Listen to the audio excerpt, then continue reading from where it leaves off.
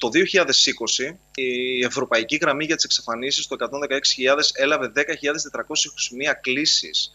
Το 33% αυτών των κλήσεων ήταν δήλωση νέας εξαφάνισης ή και έκφραση αιτήματος υποστήριξης ενεργειών αναζήτησης ενός ε, παιδιού. Ένα παιδί κάθε 3,5 μέρες εξαφανίζονταν στη χώρα μας το 2020. Ένα παιδί κάθε 5,5 ημέρες εξαφανίζεται στην Ελλάδα το πρώτο τετράμινο του 2021. Είχαμε λοιπόν 101 υποθέσεις εξαφανισμένων παιδιών ε, και είχαμε και 18 φορές ενεργοποιήθηκε το Amber Alert Ελλάς. Ε, και το πρώτο τετράμινο του 2021 ξεκίνησε κάπως έτσι. Έχουμε ήδη πάνω από 4.500 κλήσεις στην Ευρωπαϊκή Γραμμή για τις εξαφανίσεις, 116.000 και ήδη είχαμε 21 υποθέσεις εξαφανισμένων παιδιών. Πέρυσι εξαφανίστηκαν 101 παιδιά στην Ελλάδα. Κάθε παιδί που εξαφανίζεται is in danger. Αν θες να βοηθήσεις να βρεθεί ένα εξαφανισμένο παιδί, Αν έχεις κάποια πληροφορία για ένα εξαφανισμένο παιδί.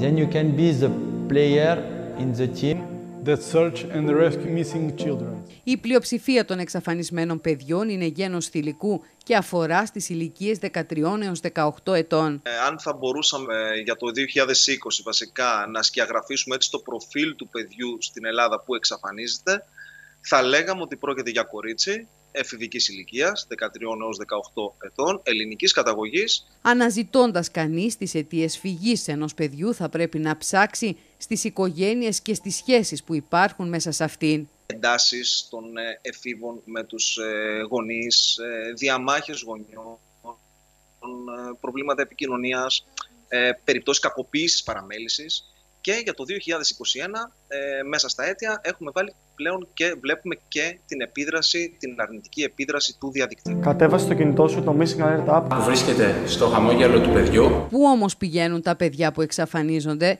υπάρχει στη χώρα μας πρόβλημα εμπορίας παιδιών; Αυτό που συνήθως έτσι τα τελευταία, τα τελευταία χρόνια κιόλας είναι ένα έντονο φαινόμενο που κυκλοφορεί στο διαδίκτυο και μ, ή από στόμα σε στόμα και μιλάμε για το λευκό βανάκι, το μαύρο βανάκι που σταματάει, αρπάζει παιδιά κτλ. Δεν υπάρχουν τέτοιες περιπτώσεις και στα, η ελληνική αστυνομία δεν έχει διαχειριστεί τέτοιες υποθέσεις. Δεν πρέπει οι γονείς να είναι τρομοκρατημένοι.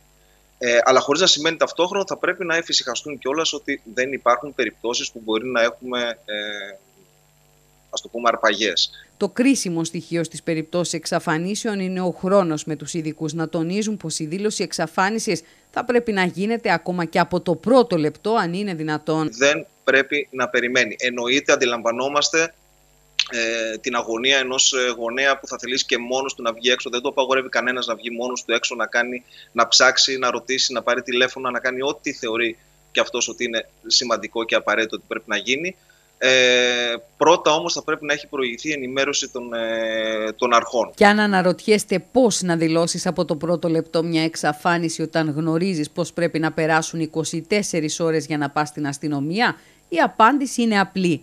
Δεν υπάρχει κάτι τέτοιο στην ελληνική νομοθεσία. Είναι ένας ακόμα αστικός μύθος, χρήσιμος στις ταινίες και τα σύριαλ. δεν υπάρχει καμία νομοθεσία, καμία εγκύκλειος, κανένας κανονισμός ε, που να προϋποθέτει να περάσουν 24 ώρες προκειμένου ή κάποιες ώρες τέλος πάντων προκειμένου να δηλώσουμε μια εξαφάνιση.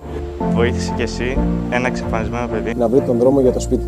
Είτε στο, στο οικείο τμήμα ασφαλείας, ε, είτε αρχικά με ένα τηλέφωνο στο 100 ή στο 116.000 που είναι η ευρωπαϊκή γραμμή για τις εξαφανίσεις του οργανισμού, το χαμόγελο του, του παιδιού, όπου εκεί πέρα οι συνάδελφοι, οι ψυχολόγοι και οι κοινωνικοί λειτουργοί θα δώσουν τις πρώτες κατευθύνσεις στους ε, γονείς, κηδεμόνες ή φροντιστές ε, για τις άμεσες ενέργειες που πρέπει να κάνουν προκειμένου να συνεχίσουμε ε, στην ε, δήλωση εξαφάνισης. ε, και να μπορέσουμε να βοηθήσουμε όλοι οι φορείς αποτελεσματικά.